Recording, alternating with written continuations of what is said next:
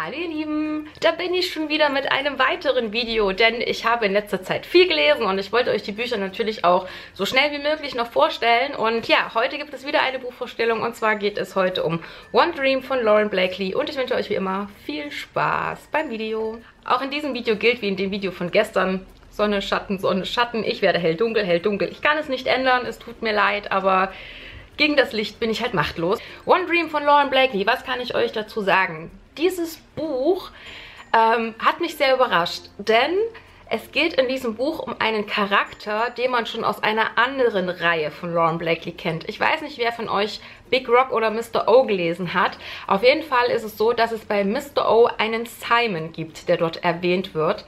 Und dieser Simon ist der Simon hier aus diesem Buch. Und das fand ich so cool, wo ich das gelesen habe. Ich dachte nur so, oh mein Gott, er hat seine eigene Geschichte bekommen. Wie cool ist das denn? Denn ich fand bei Mr. O Simon schon als sehr interessanten Charakter, auch wenn man ihn da wirklich nur so angeschnitten hat. Aber man wusste halt bei Mr. O schon, dass er ein alleinerziehender Vater ist und aussieht wie Chris Hemsworth. Hallo. Wer möchte dann nicht mehr über diesen Mann erfahren? Und als ich das dann mitgekriegt habe, dass das dieser Simon hier ist aus der anderen Geschichte und aus der anderen Reihe, habe ich das mega gefeiert. Ne? Also das fand ich ja echt mal mega genial. Und also falls ihr die andere Reihe von Lauren Blackley kennt, dann solltet ihr euch dieses Buch auf jeden Fall angucken, wenn ihr wie ich wissen wollt, was es mit Simon auf sich hat. Und falls ihr die andere Reihe nicht kennt, schaut sie euch auf jeden Fall an.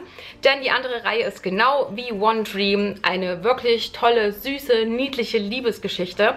Ich muss sagen, dieses Buch ist ja nicht allzu dick. Also es ist ein recht dünnes Buch von 220 Seiten. Und es ist aber ein Buch ideal für einen gemütlichen Lesenachmittag. Also man kann dieses Buch wirklich an einem Nachmittag lesen.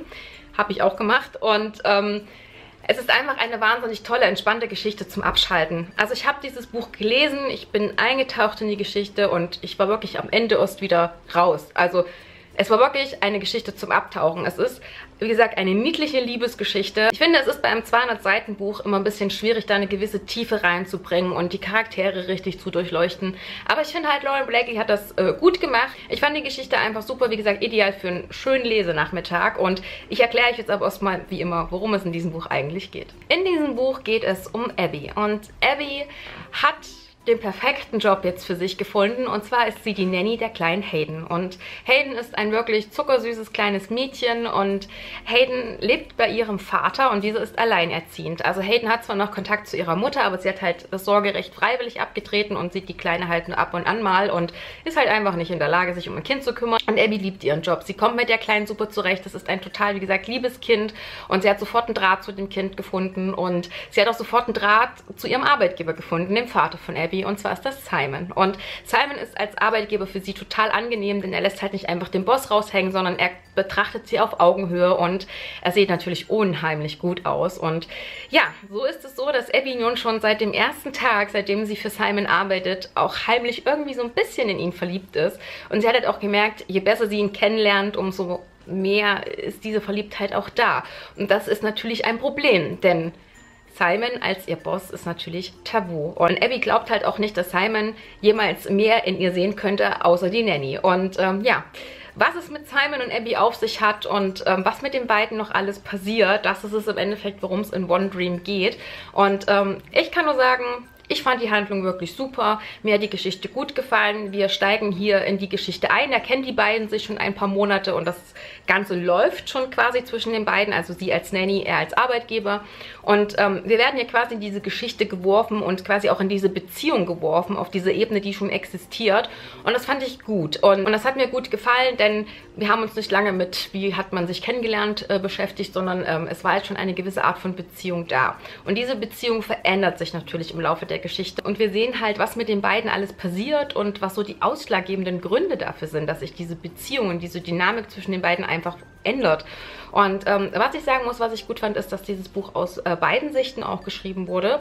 Und ähm, man hat dadurch einen guten Einblick auf Abby bekommen, aber auch auf Simon und seine Gefühlswelt. Und das hat mir sehr, sehr gut gefallen. Denn wie gesagt, gerade bei so einem kurzen, knappen Buch ist es wichtig, dass man ähm, beide Charaktere gut kennenlernt und man beide Charaktere auch ähm, einzuschätzen lernt. Und ja, hat mir sehr, sehr gut gefallen. Also von der Handlung her kann ich nur sagen, Fand ich super. Es ist halt eine kurzweilige Geschichte aufgrund der Länge einfach, aber ich denke, das weiß man, wenn man das Buch kauft. Und ähm, von daher kann ich mich, was die Handlung betrifft, nicht beschweren. Ich fand die Geschichte wirklich süß. Ich fand den Verlauf der Geschichte gut. Ich fand, die Autorin hat hier äh, gute Dinge aufgegriffen, was Einwände gegen eine Beziehung wären. Und das waren auch nachvollziehbare Dinge für mich. Und wie gesagt, was die Handlung betrifft, kann ich mich nicht beschweren. Ich mochte den Verlauf der Geschichte, ich mochte, wie die Geschichte aufgebaut wurde, ich mochte den Einstieg in die Geschichte und ja, hat mir sehr, sehr gut gefallen. Also mehr kann ich dazu auch nicht sagen. Ich habe es euch gesagt, ich werde hell, dunkel, hell, dunkel, hell, dunkel.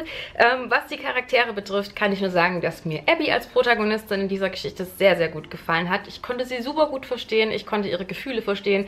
Ich konnte verstehen, dass sie versucht hat, das alles zu verdrängen und zu unterdrücken. Ey, es ist nun mal ihr Chef und ich konnte auch Simon super gut verstehen. Und ich konnte auch seine Zweifel und Ängste und das konnte ich auch alles super gut nachvollziehen bei ihm. Also ich fand, beide Charaktere hat die Autorin super gut aufgebaut, dass man sich auch gut in sie hineinversetzen kann, dass man gut mit ihnen mitfühlen kann und ja, hat mir sehr, sehr gut gefallen. Ähm, was die Nebencharaktere betrifft, kann ich auch nur sagen, dass Hayden als Kind wirklich zuckersüß ist. Also sie ist wirklich ein ganz, ganz toller kleiner Charakter. Und auch die anderen Nebencharaktere, die Freunde von Abby, haben mir sehr, sehr gut gefallen. Oder auch die Mutter von Hayden. Ich fand, wie das alles dargestellt wurde und was da halt auch für Probleme sich daraus äh, entspinnt haben, fand ich einfach super. Also was die Charaktere betrifft, kann ich mich auch nicht beschweren.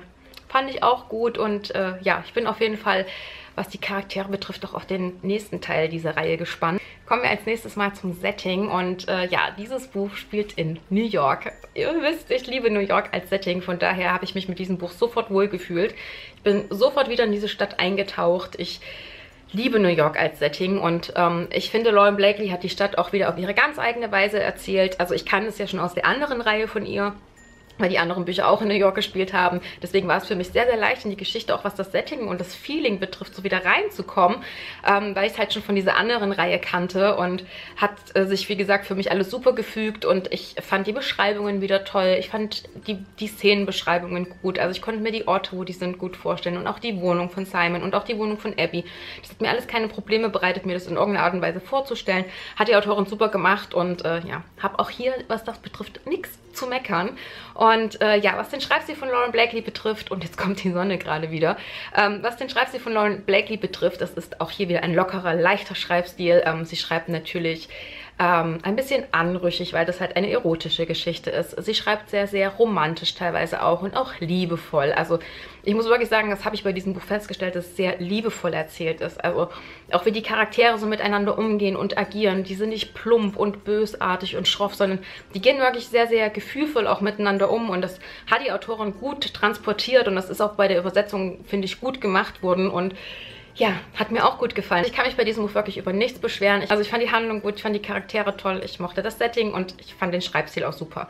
Also wie gesagt, wenn man das Buch kauft, weiß man ja, dass es eine recht kurzweilige Geschichte ist mit 220 Seiten. Ich finde, die Autorin hat das für die Länge des Buches trotzdem super gemacht. Wie gesagt, ich kann ja ihre andere Reihe schon, da sind die Bücher auch nicht länger. Und ich finde, das sind super Bücher für einen schönen Lesenachmittag. Jetzt gerade im Sommer, wenn man sich auf dem Balkon sitzt oder auf die Terrasse mit einem kalten Getränk und die Füße mal hochlegt, kann man sich das mit diesem Buch echt richtig schön gemütlich machen. Und ich finde, man kann dabei total entspannen. Also ich bin bei diesem Buch wirklich komplett runtergefahren. Ich habe das ja jetzt die Woche nach der Hochzeit gelesen und das hat mich total entspannt und ich finde, es ist eine wirklich zuckersüße, niedliche Liebesgeschichte und ich kann euch das Buch wirklich nur empfehlen. Schaut euch One Dream an, wenn ihr solche zuckersüßen, niedlichen, erotischen Liebesgeschichten mögt. Dann schaut euch dieses Buch auf jeden Fall an. Ich mochte es sehr und äh, ja, kann es, was das betrifft, euch auf jeden Fall auch nur empfehlen.